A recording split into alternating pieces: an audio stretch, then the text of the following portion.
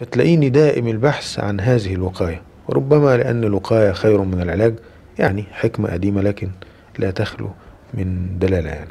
تتفق مع الأستاذ عبد الوهاب في الحكاية دي؟ لازم في ناس كتير كده. يعني يمكن إحنا ما بنختشيش بنقول في ناس تختشي تقول أو ما عندهاش فرصة تقول. يعني آه، في وجه شبه بين أنيس منصور ومحمد عبد الوهاب في عدائهم الشديد للبرد بالذات. يمكن عبد الوهاب معذور آه، لأنه راجل صاحب حنجرة.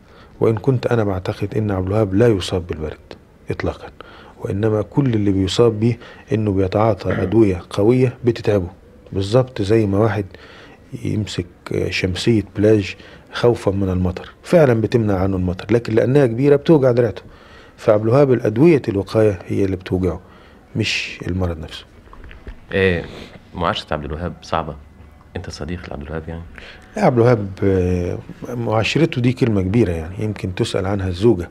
لكن آه، الصداقة هي لحظات من الالتقاء وهو عبد الوهاب آه، فنان ممتع الحديث حقيقي يعني. الفنان معبر لأن الفن هو تعبير جميل سواء بالريشة أو بال ال- ال- الريشة أو بالقلم أو بالآلة الموسيقية. المهم أنه يعبر.